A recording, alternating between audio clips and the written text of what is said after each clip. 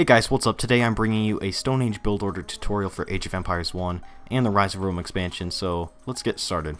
Right off the bat, I'm going to build a house with this guy and queue up four villagers at my town center. While that's going on, this guy's going to go on a tree, uh, a straggler tree to be exact, and this guy's going to go out here to find my berries. Basically, you just want to scout with one villager until you find your berries.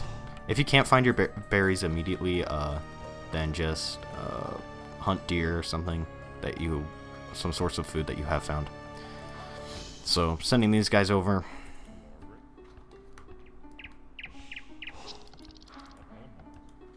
This guy's actually gonna go on different uh, berry bush.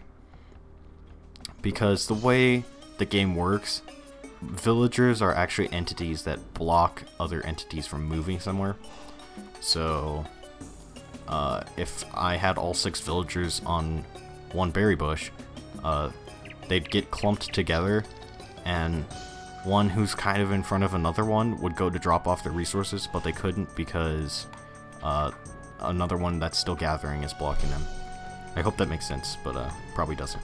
So, my 7th out of 8th villager is going to build a house, and I'm going to train up another villager. And uh, what's really cool is that my granary actually found my gold and my stone. So this guy's actually gonna go on, gonna go on wood, and this guy, the guy who built the house, is gonna go get berries. Gonna queue up some more villagers.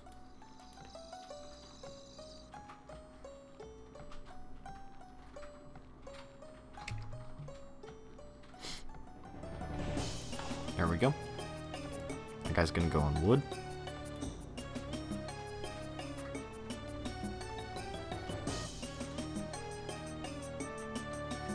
Oh, these guys look like they're done. This guy's also gonna go on wood. The next guy I train is gonna actually go build a storage pit Sometimes if you're really lucky, a storage pit can actually cover three resources at a time, your wood, your stone, and your gold. But uh, unfortunately, uh, my wood is probably separated. We'll see. This guy can't exactly afford a storage pit yet, so we'll find out. Nope, just some gazelles. And we're gonna build that. And we're gonna get one more villager. There are some trees up here, so this storage pit will actually work for a little bit.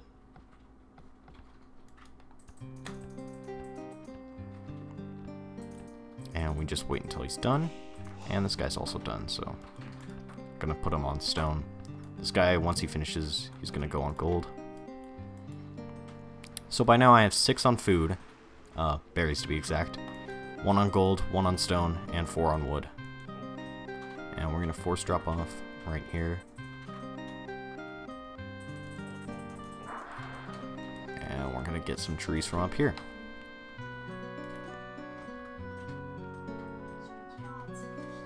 And since I have a pretty good income of food, I will actually take one guy off and uh, we're going to go station him by the water so I can build a dock. If you're playing on a land map, you don't actually have to build a dock uh, with one villager from forage bushes, but uh, yeah, I don't actually take any villagers from wood to build my dock. Like, this is more of a matter of preference, uh, but I find it inefficient because these guys are actually gathering wood, and you need those for a dock. So, yeah. And they're getting kind of stuck. This is what I was talking about when I was saying that, uh, units get stuck on each other. Oh, and it looks like I actually have enough for a dock, so I'm going to throw it up right there. Now, from this point on, you don't actually have to do anything but collect food, so that way you have enough to uh, age up.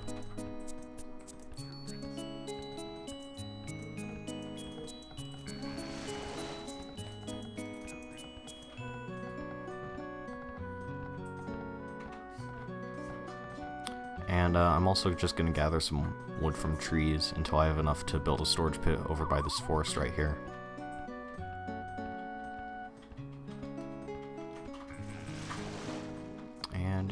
Like my guys are going down here, but that's okay. Uh, th this guy actually needs to go back on berries. I would queue up some fishing ships right now, but that's only if you have an excess amount of wood, which only occurs if you're playing as the Phoenicians or something, because uh, they have a wood cutting bonus, so yeah. I'm playing as the Hittites, so basically I don't really have any special economic bonuses. We're gonna go down here and we have exactly enough for a storage pit, thank god. So I actually have enough to age up right now, and I, I will do that. And when you're aging up, if you do have enough wood, like if you got the lucky, uh, the lucky uh, resource spawning, where like you stone, your gold, and your wood are all in the uh, exact same place, like they're pretty close to each other, uh, then you can probably afford a fishing ship, but unfortunately I can't. I'm gonna cut down that tree. If you're playing on the land map, what you want to do when you're aging up is actually build a barracks. Like, during this age up process right here, you want to take a villager of, well, from any resource really. Oh, oops. Uh, you want to take them to uh, build a barracks.